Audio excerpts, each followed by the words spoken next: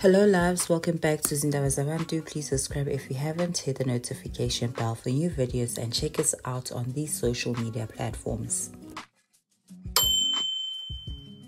Doro Mongy shares about her pregnancy acne.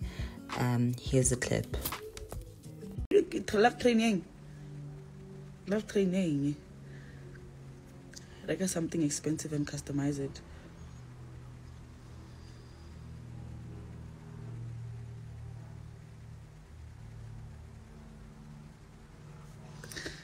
Doro has mistake, guys. His texts are in. Ah, wait, no man. Ish.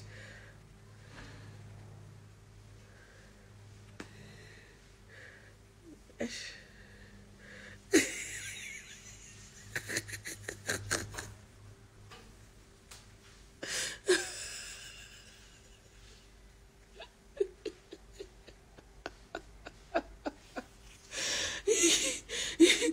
guys, I didn't mean it.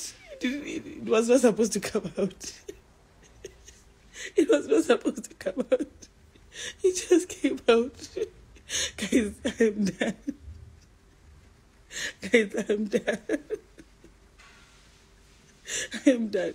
Guys, I'm gonna get into trouble because of this life. Why don't le play shaku now ke mola ke bolela dilo mo ke to ba lo opela.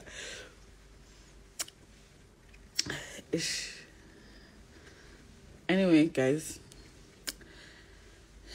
let me show you my skin. Let's focus on pregnancy acne. This is my skin now. This is what pregnancy did to me.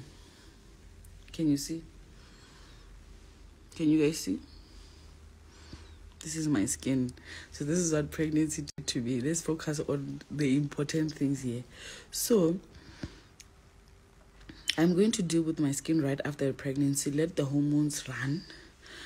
And then hegifeja. Then that's when I'll focus on my skin. So right now, I'm just giving you guys motivation Or Yes, acne does go away, comes back, go away. Yes, comes back and go away and leave marks. So I'm going to deal with this very soon, and I will, you know, involve you guys through the journey. Through the journey, yeah, the skin. So you can see that I have marks. You can see, look, look, you see, I have marks. Pregnancy acne, okay? Yeah. Bye.